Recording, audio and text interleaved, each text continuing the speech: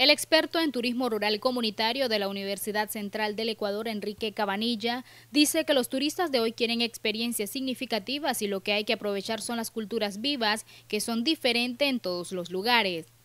Nicaragua tiene un, ahí un filo que sería importante aprovechar. ¿Y aprovechar para qué? aprovechar de acuerdo a la tendencia a lo que quiere el turista de hoy. Acordémonos que el turista de hoy quiere experiencias y experiencias significativas. Y realmente, pues sin menospreciar a los grandes hoteles, pero los grandes hoteles son iguales en todo lugar. ¿sí? Las grandes cadenas, un Decameron es igual en Ecuador, en el Caribe, en Colombia. En cambio, las culturas vivas son diferentes en cada país y ese es el tema que hay que aprovechar. En este sentido, este primero de marzo se llevó a cabo la octava mesa de trabajo del Instituto Nicaragüense de Turismo, junto a protagonistas del sector turístico, representantes de cámaras y asociaciones de turismo. Pues nosotros tratamos siempre lo que es el tema de fortalecimiento de capacidades, que es en lo que lo hemos venido ayudando, dándole talleres para mejorar la atención a los visitantes, lo que es la parte de la manipulación de los alimentos para garantizar la seguridad de estos visitantes que, que van a, pues, a, las zonas rurales.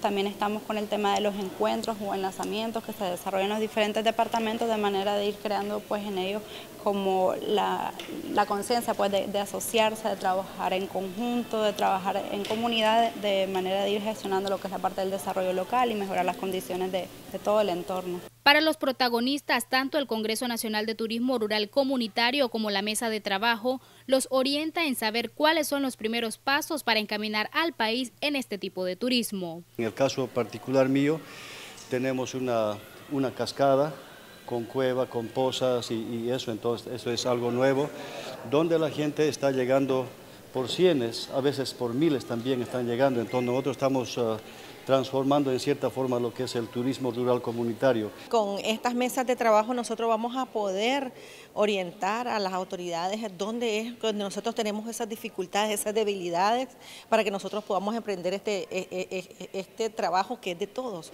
Aquí tenemos que estar unidos población, empresarios, gobierno. Este es un informe del Instituto Nicaragüense de Turismo, INTUR. Nicaragua, única, original.